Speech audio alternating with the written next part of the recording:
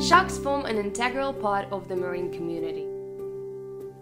Around the world, there are over 1,260 different species of sharks, skates, rays, and chimeras, with South Africa being home to 191 of these.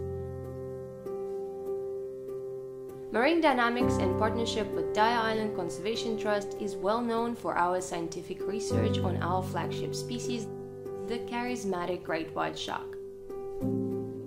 But we also research other shark species throughout the marine ecosystem.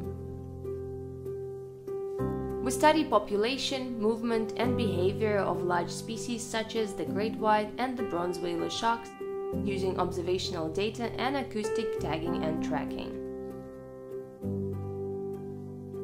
We also investigate species such as the short-tailed stingray, pyjama and leopard cat sharks, and even the smaller puff-adder shy shark. We do this through various methods such as underwater video studies, shark egg case collection, and mark recapture.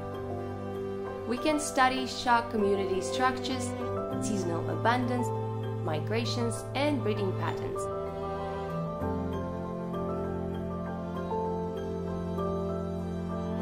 We use these studies to improve our understanding of this species and inform conservation policies at government level.